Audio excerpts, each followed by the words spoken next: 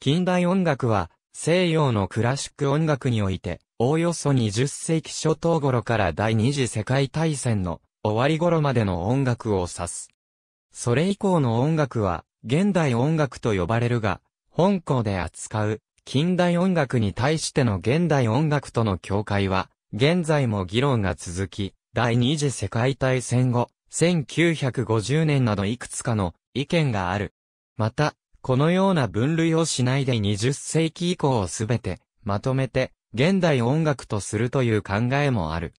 本校では、冒頭の通り、20世紀初頭から第二次世界大戦の終わりまでを近代音楽と定義する。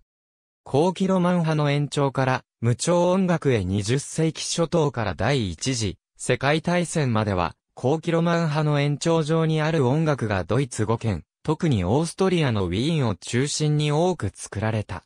マーラーやリヒャルト・シュトラウスなどがその代表と言える。またツェムリンスキーから新ウィーン楽派の初期にかけてが、この後期ロマン派の最後期と見てよい。シェーンベルクの、清夜、ペレアスとメリザンド、グレの歌、ベルクの、ピアノソナタ、ベーベルンの、夏風の中で、などがそれにあたる。シェーンベルク、ベルク、ベーベルンはそれらの初期作品の後、1908年頃から、徐々に調整を放棄し無調による、表現主義と呼ばれる作風へ至った。また1920年代にはそれを組織化する、手段として12音技法を生み出し、以後この技法による表現の可能性を各人がそれぞれ独自性をも示しつつ探求した。これに対し、ツェムリンスキーやシュレーカーは機能化成からは離脱し、部分的には副調も取り入れつつも、その後も後期ロマン派の香りを止めた超的作品を残した。新ウィーン学派の影響を受けたその後の世代の作曲家にはクレネクやアイスラーがいる。クレネクは若い頃は新古典主義様式による歌劇を大ヒットさせたりしていたが、1930年代後半からは12音技法を取り入れた。アイスラーは無調や12音技法の影響を受けつつも、政治的作品を多く残し、大衆への訴えのために平明な超的語法も用いた。その他のドイツ語圏の同行新ウィーン学派以外の同行では、拡大された調整によるネオバオック的新植物主義、新古典主義のヒンデミットがドイツ語圏では最も強い影響力を持っていた。その他、近代的な味付けを施して、後期ロマン派を継続させた、コルンゴルト、無調や副調を用いて20世紀の不安を暴力的に描く経営ハルトマン、独特なオスティナート語法が特徴的なカール・オルフなどが挙げられる。その後の世代としては、ブラッハー、アイネムなどが、ヒンデミット的な全音階的超的語法を受け継いだ。印象主義、原始主義の音楽と、ロシアバレエ団フランスでは、サン・サンス、フォーレ、ショーソンといった19世紀後半より活躍した作曲家たちが、ワーグナーの影響を受けながらもフランス独特の音楽様式を確立していた。その様式のエスプリは保ちながらも、音楽的には、機能化成の放棄という、全く新しい語法を開拓したのがドビュッシーであり、ラベルと共に、美術の印象派になぞらえて、印象主義の音楽と呼ばれた。彼らは、感覚的ではあるが工事倍音を取り込んだ、新たな火星や、聞き手に、視覚的な印象を想起させる色彩的で、遠近法的な還元落法を生み出した。またドビュッシーによって初めて多用された全音音階は調整感覚を薄める音楽語法の一つとして注目され、以後多くの作曲家が追随した。新古典主義フランス6人組と呼ばれる作曲家及びその周辺の同世代の作曲家は年長のサティを旗印とし、美術家のピカソや詩人国トーラとも関わりながら新古典主義の音楽活動を展開した。木管楽器の音楽とオルガン音楽の発展フランス楽派と呼ばれる演奏流儀がパリ音楽院の器楽家を中心として20世紀初頭頃より勃興した。特に木管楽器は楽器の改良とともに奏者の技術も目覚ましく発展し、それに伴い多くのフランスの作曲家が日々進歩する楽器の性能を駆使しつつ、多くの新しい曲を生み出した。木管楽器奏者のソロや、室内楽のレパートリーには、現在も、ナオコの時代のフランスの音楽が多い。また、オルガン音楽もこの頃特に盛んであった。オルガンは主に教会のミサで演奏されることが多く、司祭をはじめ会場の動きや、時間配分に合わせて、即興演奏を行う必要がある。よって、オルガンには、即興演奏が付き物なのだが、19世紀のフランク以来の流儀を引き継いで、フランスのオルガン音楽は即興のみならず目覚ましい発展を遂げた。またもちろん、優れた即興を書き留めて、それをもとに作品を練り上げることもあった。この分野ではデュプレをはじめ、口述のトゥルヌミールや、ジャン・アラン、さらに、ビドール、デュリュフレなどが挙げられる。メシアンも、オルガニストとして活躍し、生涯の広範囲にわたって、多くの優れたオルガン音楽を作曲している。ジュヌ・フランス・フランス6人組よりもさらに若い世代として、ジュヌ・フランスと呼ばれる作曲家グループが結成された。主要なメンバーは、メシアン、デューティユー、ジョリベである。彼らは、その活動の最初期において、フランス近代音楽の潮流を引き継ぎつつも、調整音楽からの乖離を試みた。しかし新ウィーン学派のように、先方性などをも全面的に否定したわけではなかった。その他、オルガン音楽の分野で有名なトゥルヌミール、ジュアン・アランらもメンバーであった。ジュアン・アランは、オルガニストマリー・クレール・アランの兄であり、彼自身もオルガン曲を中心に活発な作曲活動をしていたが、第二次世界大戦で戦死した。特筆すべきは、メシアンが1930年代に本格的な作曲活動を開始したばかりの頃、同時期に生まれたばかりの新しい電子楽器温度、マルトノを複数用いて作曲していることが挙げられる。移植による機会ではあったが、その中の一曲、美しき水の祭典は、その後彼が第二次世界大戦で捕虜となった際に書かれて、代表作の一つとなった世の終わりのための四重奏曲に転用している。ジョリベも戦後間もなく、オンドマルトの競争曲を作曲した。オペラにおいては、マスカーニのカバレリアルスティカーナの大成功を受け、ベリズモオペラの流行が起きた。同作及びレオン・カバッロの同家氏の2作がその傾向の代表作とされる。彼らと同世代に属するプッチーニはもともとベリズモの影響を受けつつ高キロマン派の作風から出発したが、20世紀に入ると全音音階や激しい不協和音、平行語度を多用するなど、部分的には同時代の先端の技法を取り入れていて、イタリア印象主義音楽の先駆者となった。イタリアの音楽界は圧倒的にオペラ中心であり、演奏家用の管弦楽や室内楽を積極的に書く、作曲家はなかなか現れなかった。そこに現れたのがレスピーギである。中でも、ローマの末において、実際の鳥の声を録音したものを上演中に、再生して使用する試みは、注目に値する。レスピーギはまた先方の復興にも熱心であり、この点では、同時代のフランス音楽とも共通する語法を探求したと言える。レスピーギと同世代のカゼラ、マリピエロ、ピセッティの3人は、復調や新古典主義などの近代的語法をより本格的に取り入れ、イタリア近代音楽に大きく貢献した。前衛的な活動としては、ダラピッコラによって、イタリアにおける最初期の12音技法の思考が挙げられる。実際は、同時期に、シェル氏によっても、同様の試みが行われていたが、シェル氏にとって12音技法は、自己の語法とあまりにかけ離れており、結果的に精神的破綻を起こしてしまう。以後は異なる作風に転向した。シェル氏の音楽は1980年代のケルンのイサムの現代音楽祭でセンダーにより指揮され、ようやく世界的に認識された。19世紀の音楽はドイツ語圏が大きな中心となっていた。それに対して、いわゆる周辺国の作曲家が、独自の民族的な音楽語法を探索する動きも、すでに起こっていたが、20世紀以降に、新たな展開を見せた。日本においても、伊福部明などにより、民族主義が試みられているが、これは、概論において記す。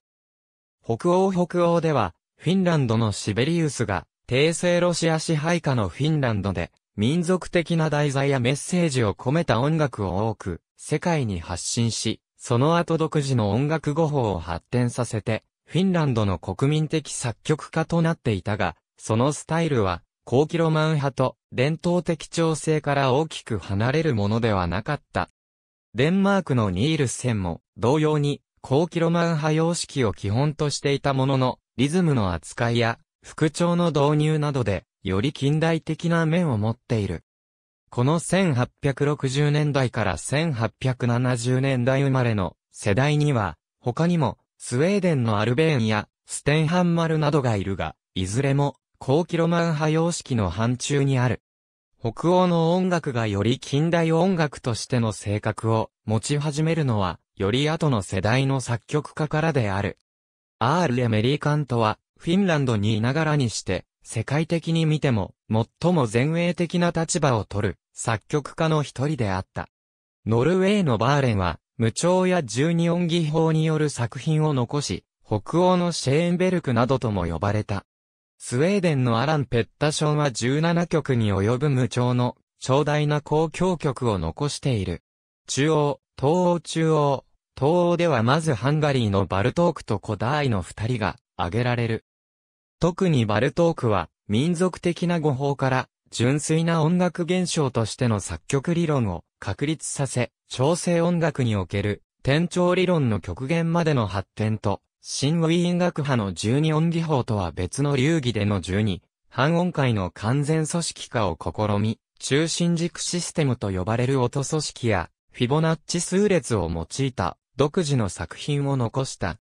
チェコでは、シュレーカーやニールセンと同様の高キロマン派と近代の架け橋的存在として、スーク、ノバーク、より民族主義的独自性の強いヤナーチェクがおり、より後の世代としては新古典主義に進んだ、マルティヌー、微分音を追求したハーバがいる。ポーランドでは、シマノフスキが重要な存在で、ポーランド学派の基礎となった。一連の公共曲などによって民族的でありながら、同時に極めて印象主義的な作風を示している。ロシアの近代音楽に相当するのは国民学派以後の作曲家だが、とりわけ、スクラービン、ストラビンスキー、プロコフィエフ、ハチャトゥリアン、それに、ショスタコービチが代表的な存在である。スクラービンは、前期においては、ショパンやワーグナーの影響を示す高キロマン派様式の作品を書いていたが、やがて独自の神秘和音などの技法を発展させて、機能火星から離脱し、晩年には無調に到達した。ロシア革命前後のソ連では、前衛的社会を建設しようとする社会気風と相まって、ロシアアバンギャルドと呼ばれる前衛的な芸術運動が生まれ、音楽においては、ロースラベツやモソロフラが、スクリャービンの後期の様式をもとに、前衛的な作品を生み出したが、スターリン体制の成立とともに、前衛的芸術活動は弾圧され、作風の変更を余儀なくされた。またこの頃ディアギレフが主催する、ロシアバレエ団が、パリで活躍し、多くの作曲家に、バレエ音楽を移植した。前述のフランスのドビュッシーや、ラベルも、彼らの代表作の一つとなるような作品を残したが、このバレエ団によって世にその名を轟かせたのは、何と言っても、この時代にロシア革命を逃れてフランスで活動したストラビンスキーだろう。初期三大バレエと呼ばれる火の鳥、ペットルーシュカ、春の祭典を続けて発表するが、3作目の春の祭典はあまりにショッキングな作風のため、会場のシャンゼリゼ劇場は演奏中から乱闘騒ぎを起こし、空前絶後の混乱に陥った。しかし翌年演奏会形式で再演した時には、好評をもって迎え入れられ、新たな音楽の潮流として世に認められた。ストラビンスキーは、その後1920年代には新古典主義に転向し、1939年アメリカへ渡ると、1950年代からは、音列技法へ進んだ。プロコフィエフは初期には、ストラビンスキーの原始主義に接近して、交響曲、第2番、第3番などを書き、また同時に新古典主義様式の古典交響曲などを作曲していたが、亡命先からロシアへ帰国した後は、新ロマン主義的とも言える、社会主義リアリズムの作風に進んだ。ハチャトゥリアンは、アルメニアの民族音楽と深く結びついた、社会主義リアリズムの作風を持つ。ショスタコービッチはシェルシのような即興音楽と深い関係があり、バッハの対比法やベートーベンの同期展開なども独特に駆使したが、政治的圧力との戦いによって、後に前衛的な手法を放棄、または隠すざるを得なかった、運命的に後のユニーさんやノーノに見られる、政治音楽の先駆者でもある。エルガーのような純粋に、後期ロマン派の作曲家よりも後の世代では、イギリス印象派とも呼べる、作曲家たちを挙げることができる。すなわちボーン・ウィリアムズ、ホルスト、ディーリアスらである。ディーリアスのみが完全な印象主義の手法で作品を発表しているが、他の作曲家はロマン派との手法が混在している。これに対し、ウォルトンは、より不協和で、近代的な作風を持ち、さらに後の世代では、ティペットやブリテンが重要な存在である。この項のいずれの作曲家も、スペインの民族音楽と深く結びついている。また、主要な作曲家全員が、パリで学んでおり、印象主義をはじめとしたフランス音楽の要素を自らの作品に取り込んでいる。後期のアルベニスは、教会戦法や二度和音を活用した非常に斬新なピアノ作品をいくつか手掛けた。代表曲はイベリアである。ファリャは三角帽子における運命の動機の引用やクラブ三競争曲等、新古典主義の傾向を見られる。他にロマン主義的な作風を最後まで貫いたグラナドス、イベリアや、とりわけ同世代のフランス音楽の影響が強い、トゥリーナ、印象主義的な、静筆な作風の曲を多く手掛けた、モンポーラがいる。アメリカで新しく生まれた音楽として、ジャズが挙げられる。一般的には、クラシック音楽とジャズは切り離して語られるものであり、詳細は、ジャズの項に譲るが、このジャズを巧みに取り入れた作曲家としてガーシュウィンが挙げられる。ガーシュウィンはジャズを取り入れたラプソディーンブルーによって一躍有名となり、後にはパリのアメリカ人や歌劇、ポーギーとベッスやミュージカルなどを書くが、多忙がたたって39歳で病死した。ガーシュウィンと同じくユダヤ人のアーロン・コープランドは1900年の生まれだが、様式的には近代音楽に入れられる。アメリカ人で最初のアメリカらしい作品を書いたことで有名で、エルサロン・メヒコなどのように、ラテン音楽からのイディオムも使ってはいるが、多くは三大バレエのように映画音楽からの普遍である。これらを総合したものに、交響曲第3番がある。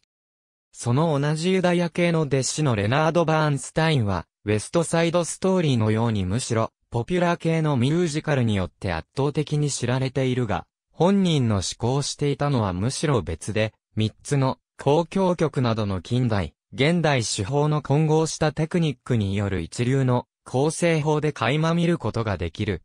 アイブズ、エリオット・カーター、バレーズなど、戦前の前衛音楽については、現代音楽に分類されることが多い。ここでは、明治維新以降の西洋音楽の需要から、民族主義、戦時中の動向について記す。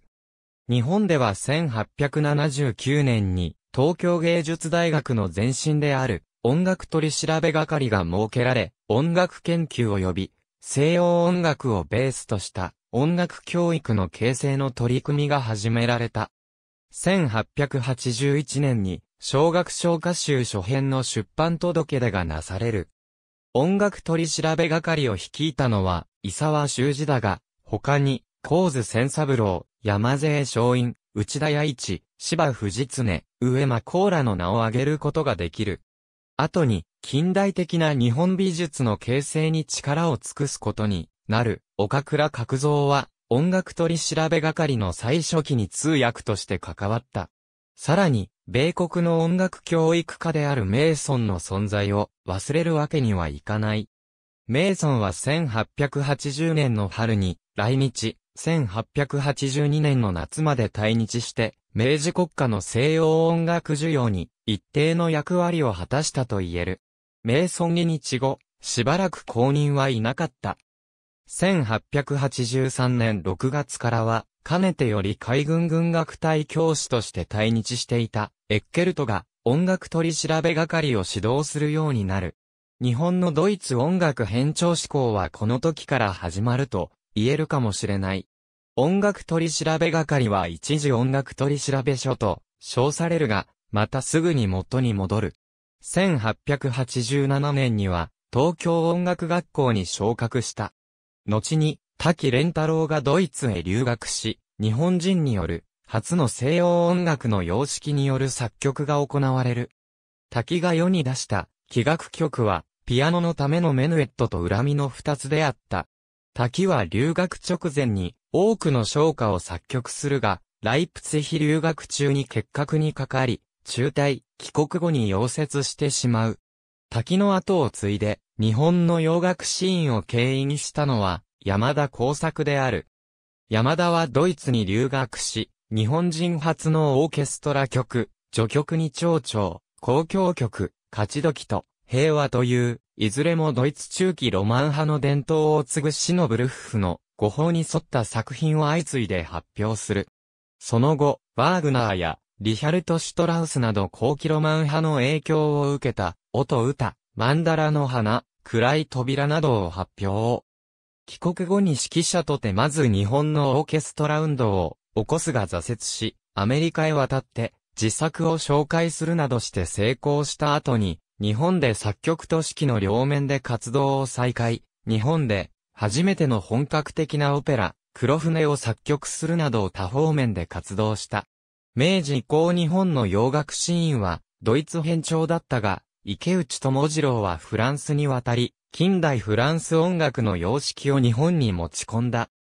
諸井三郎などのドイツ派、池内智次郎などのフランス派の二大アカデミズムが、東京音楽学校において、日本の洋楽シーンを席巻していたが、一方で昭和に入ると、松平頼常、伊福部明、